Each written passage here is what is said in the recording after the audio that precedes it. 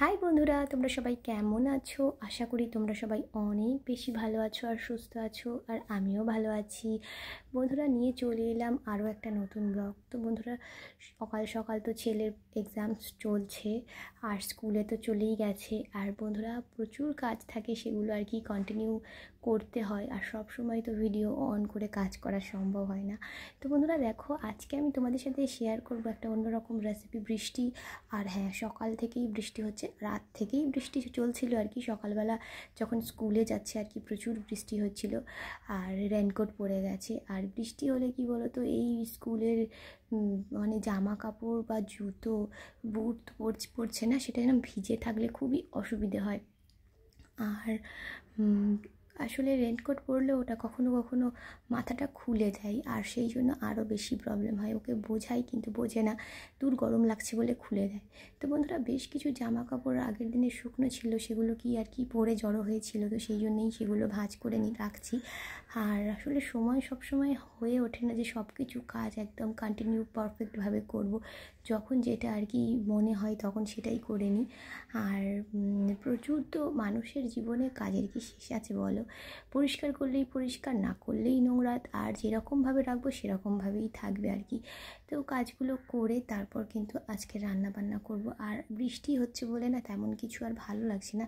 ফ্রিজে ছিল কিছুটা চিকেন, ভাবলাম দেখি চিকেনটা দিয়ে কি করা যায়। আর দেখবে অল্প পরিমাণে বনলেস চিকেন ছিল, আর সেটা তো তরকারি করলেও ভালো লাগে না না? তো দেখো, এখানে বিছনা মানে বই খাতা কিছুটা অগোছন হয়ে পড়েছিল। কিছু নিয়ে গেছে, যেহেতু এক্সাম চলছে আর কিছু বাড়িতে পড়ে রয়েছে। তো যেগুলো আর কি প্রয়োজন নেই, সেগুলো বাড়িতে আছে। আর এইগুলো আর কি গুছিয়ে রাখলাম। যেহেতু সকালবেলা একটু পড়ছিল পড়ে টোরে এক্সাম দিতে গেছে। আর এই দেখো, আমি এখন মানে সব বইগুলো এই ঘরেই চলে এসছে। আগে ওই ঘরে পড়াশোনাটা করতো, এখন এই ঘরটাই পড়ে। আর জামা কাপড়গুলো আপাতত এখন ভাঁজ করে ওই সাইডে রেখেছি। এখন আমি তোলার সময় পাচ্ছি না, কেননা রান্না করতে হবে আবার। তো ভালোই টাইম হয়ে গেছে।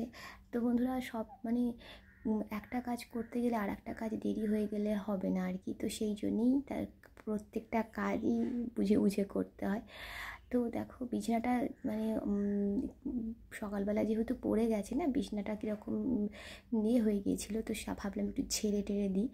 আর এই ঘরে অবশ্য শোয় না। আর বন্ধুরা বললাম বনলেস চিকেন ছিল, তো তাওয়ার মধ্যে ভালো করে চিকেনটাকে তাওয়া চিকেন বানিয়ে নিচ্ছি। দেখো তো এইরকমভাবে মানে এমনি নর্মালি বল বনলেস চিকেন কিন্তু বন্ধুরা খেতে ভালো লাগে না। তো এর কিছু না কিছু করেই খেতে হয়। তো ছেলে বলল, আমি খাব না এই।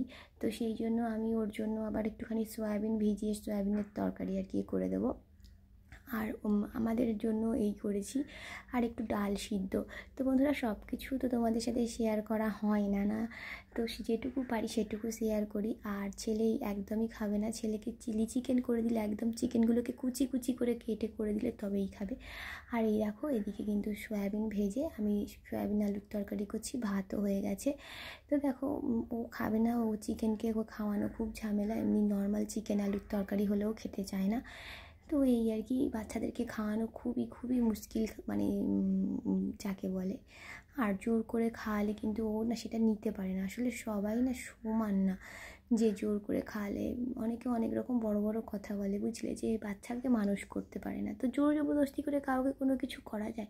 সে যদি খাবারটা খেয়ে তার অসুবিধা হয়, তার কষ্ট হয় আর বাচ্চাদের জোর করা মানেই বাচ্চারা উল্টোপাল্টা কিছু মানে করে বসে, জোর করে খাওয়ালে যখন বমি করে ফেলে, সেই জন্যই আর কি বাচ্চাদেরকে খাওয়ানো খুবই তো মানুষ বলে যাই হয়ে যাক, বাচ্চাদেরকে জোর করেই খাওয়াতে হবে। এগুলো আমার ঠিক ভালো লাগে না। তো বন্ধুরা, এই যে মুসুর ডাল দেখো আমি ধুয়ে ভালো করে জল ঝরাতে দিয়েছিলাম ছাঁকনিতে আর জলটা ঝরে যাওয়ার পর হ্যাঁ প্রথমে ধুই, ভিজিয়ে রেখেছিলাম এক ঘণ্টা মতো মুসুর ডালটাকে, তারপর জল ছড়িয়ে নিয়ে আমি এই তোয়ালের মধ্যে ডালটাকে মেলে দিচ্ছি। আর হ্যাঁ প্রচণ্ড বৃষ্টি হচ্ছে না, ওই জন্য ভাবলাম একটু ডাল ভাজা করি। তো বন্ধুরা, এই ডাল ভাজার রেসিপিটা আজকে তোমাদের সাথে আমি শেয়ার করছি। ডালটাকে ভালো করে আমি তোয়ালের মধ্যে শুকনো করে নিয়েছি আর নিয়ে দেখো কড়াই তেল দিয়ে দিয়েছি। আর এই দেখতে পাচ্ছ, ডালটা একদমই মানে ঝরঝরে হয়ে গেছে, শুকনো হয়ে গেছে। আর এখন ওই কড়ার মধ্যে আমি দেখো একটা তেল দিয়ে ছাঁকনি দিয়ে এই ডালটাকে ভেজে নিচ্ছি। তো মুগের ডাল তোমরা অনেকেই খেয়েছো বাট মুসুর ডাল ভাজা কিন্তু মুগের ডালের থেকেও বেশি ভালো লাগে। তো বন্ধুরা, একবার খেয়ে দেখো। আর মুসুর ডাল ভাজাটা কিন্তু দোকানে কিনতে পাওয়া যায় না।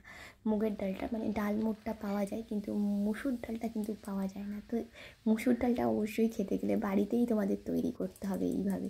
আর খুবই ইজি ডালটাকে ভালো করে ধুয়ে এক ঘণ্টা ভিজিয়ে রেখে সেটা জলটা ছেঁকে আর একটু তোয়ালে বা যে কোনো কাপড়ের মধ্যে একটু মেলে দেবে। হালকা করে ওপর থেকে একটু মুছে নিলেই ডালটা শুকনো হয়ে যাবে। তারপর কিন্তু তেলের মধ্যে ভেজে নেওয়ার পালা, ব্যাস, আর কোনো কিছুই নয়। তো দেখো আমি খুব বেশি করছি না, অল্প পরিমাণে এখানে ডালটা ভেজে নিচ্ছি। আর বৃষ্টি বৃষ্টি ওয়েদার না, এই সমস্ত ডাল ভাজা খেতে বেশ ভালো লাগে। তো দেখো আমি কারি পাতা গাছ থেকে তুলে রেখেছিলাম, সেই কারি পাতাটাও ভেজে নিচ্ছি। আর এই ডালের মধ্যে দিয়ে দেখো নুন দিয়ে একটু মিক্স করে নেব। আর এই ডালেতে আমি কোনো রকম মশলা দিচ্ছি না, চাট মশলা বা মানে লঙ্কার গুঁড়ো এই সমস্ত কিছুই দিচ্ছি না। আমি জাস্ট বিট নুন দিয়ে ডালটাকে ভালোভাবে মিশিয়ে নেব আর রেডি হয়ে যাবে। খুবই ভালো লাগে এভাবে তোমরা তৈরি করতে পারো। জাস্ট সন্ধেবেলা বৃষ্টি বৃষ্টি ওয়েদারে চায়ের সাথে খেতেও কিন্তু বেশ মজা লাগে। তো দেখো রেডি হয়ে গেছে, অবশ্যই ট্রাই করো। আর যদি ভালো লাগে অবশ্যই আমার চ্যানেলটাকে সাবস্ক্রাইব করে দিও। লাইক কমেন্ট শেয়ার করো আমার পাশে থেকো। আর এইভাবে নতুন নতুন রেসিপি দেখার জন্য অবশ্যই পাশে থেকো। তো বন্ধুরা, আজকের ভিডিওটা এখানেই শেষ করছি। দেখা হচ্ছে আবার পরের দিন। Bye bye